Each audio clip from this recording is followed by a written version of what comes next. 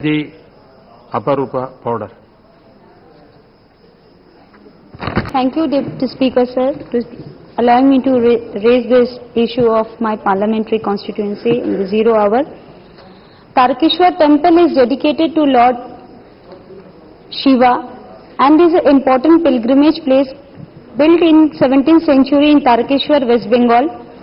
This is one of the oldest temple in India. It records the maximum crowd in the holy day of Mahashivratri and also the Shravan month. Being a very religious, ancient religious place of Lord Shiva, Tarakeswar is a major pilgrimage place. The Dudhpukur tank is the north of the temple, believed to fulfill the prayers of those who take a dip in it and need to be cleaned and beautified. Though it is well connected by rail, there is a huge demand from the public to operate more trains during the festival. Hmm. In the Shravan months, people arrive to Tarakeswar by walk from Kolkata also. Right, right. Hence, I request the Cultural Ministry to take this matter in consideration and allocate more funds to repair the basic necessities of this temple as it is a main source of pilgrimage and tourism. Thank you, sir. Very briefly.